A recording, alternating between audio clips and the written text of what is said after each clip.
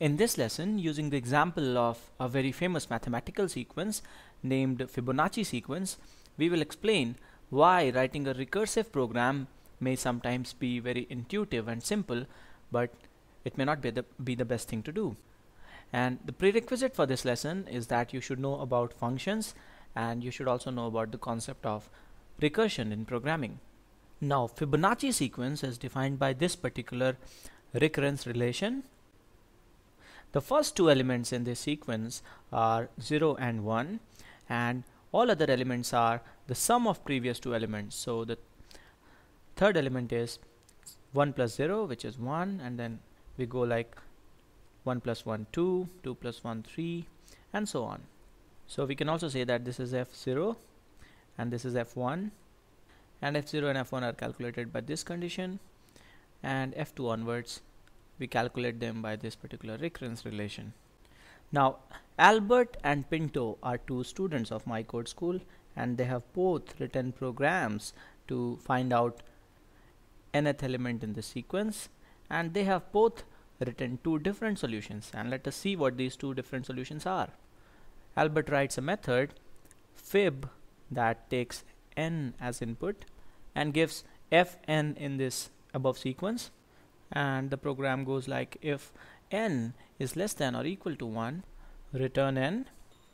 Else we will initialize two variables f1 to 0 and f2 to 1 and run a loop from 2 to n where I'll have a variable f that will calculate the sum of f1 and f2 f1 and f2 at any point in this loop will have the or rather store the values of the previous two elements.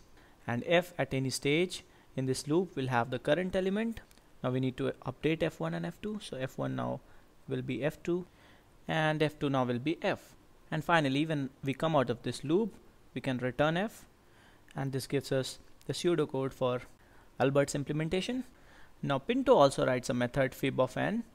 But Pinto has recently learned recursion. And he says that hey there is a lot more simpler method to solve this problem. So his program also goes like if n is less than or equal to 1 return n.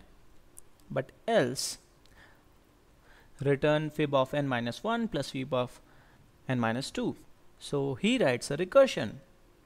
And this particular condition if n is less than or equal to 1 is the base condition or the termination condition so that the recursion does not go on endlessly. Now let us quickly write try to write write these programs in an actual compiler and see what happens so I will write a C++ program and this is the Visual Studio compiler open in front of you.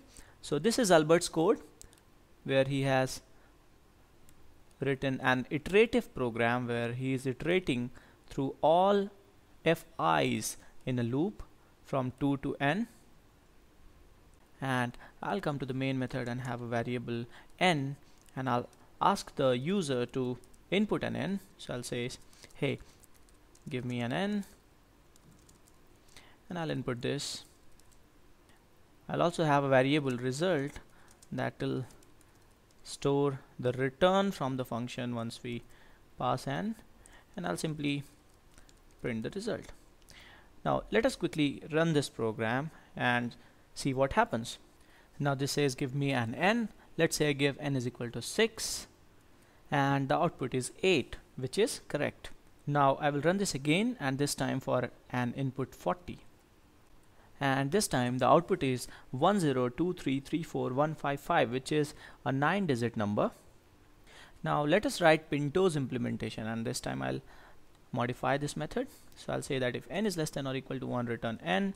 Else return fib of n minus 1 plus fib of n minus 2 and we could also write an else here but that would be redundant so let's run this and see what happens. So this time again let's see let's say we give the input 6 first and this gives me 8 which is correct. And let's give n is equal to 40 again. And this is not finished yet. This is still executing. And I'm waiting. And this is still executing. And boom it finally comes so this gives me the correct result but this time it takes a couple of seconds to give me the result And why is it so? I thought recursion is good. Let us see. Now Albert has written an iterative program and Pinto has written a recursive program. So what happens with Albert is that to calculate fn, he already has f0 and f1. So to calculate fn, he goes on to calculate f2 from f0 and f1 and then he goes on to calculate f3 from f2 and f1 and he goes on till f of n. So he calculates each of these f2, f3 and fn exactly once. So for example, if he wants to calculate f5, he goes on building it like from f0 he goes to sorry he already has these two values f0 and f1 he from here he goes to f2 and then to f3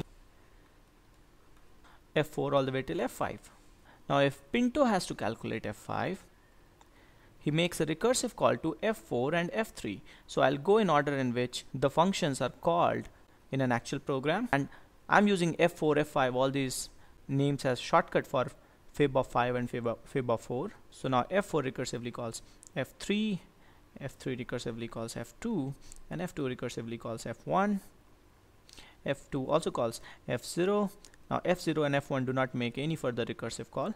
They simply return 1 and 0 res respectively. So this also makes a call to f1 and we keep on drawing this structure. Now f5 also calls f3 now this particular structure that we have drawn here is called a recursion tree. Now we can see here that the value f2 is actually being calculated thrice and similarly f3 is being calculated twice which is an unnecessary overhead or unnecessary redundancy. So in the left or the iterative program while we are calculating each state or each value of f i exactly once in the recursive implementation, we are calculating it multiple times. For example, if n is equal to 5, we are calculating f2 thrice. When n is equal to 6, we are calculating f2 5 times. When n is equal to 8, we calculate f3 13 times. And if n is equal to 40 that we had used in our example, the this number is 63245986, which is crazy. And similarly, like f2, f3, f4 and fi for any generalized being calculated a number of times. So the running time of this program is growing exponentially as the input increases and you can also write a simple program to find out how many times f2 is being calculated or any other fi is being calculated. So as we can see from this example recursion can sometimes be very simple and intuitive to write but but it could be expensive in terms of time and space that it takes. In another lesson, we will see how to analyze the time complexity of a recursive program. In yet another lesson, we will also see that how to avoid this overhead of calculating the same state again and again by using a technique called recursion with memoization. So thanks for watching.